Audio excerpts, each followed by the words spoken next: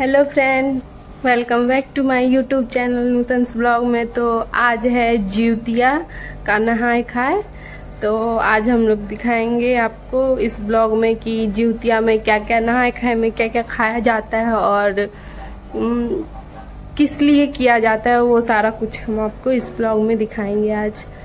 तो चलिए मिलाते हैं हम आपको अपनी मम्मी का नहाए खाए तो यहाँ मम्मी नहा धो के पूजा करके उसके बाद खा रहे हैं। देखिए क्या क्या खाते हैं।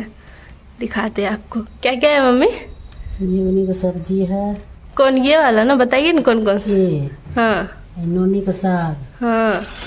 ना ये झिंगुनी का चना का है। हाँ। मछली है मरवा का रोटी। हाँ।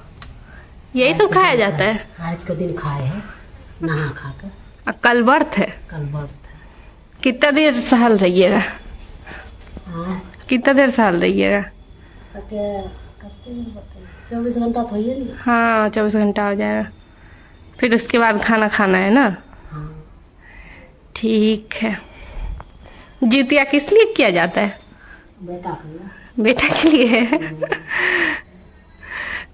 ठीक है। तो आप लोग को हम दिखाए अभी मम्मी जितिया के नहा खाए में क्या क्या खाती है और उसके आगे जो भी होगा हम आपको दिखाएँगे नेक्स्ट ब्लॉग में। अभी के लिए बाय बाय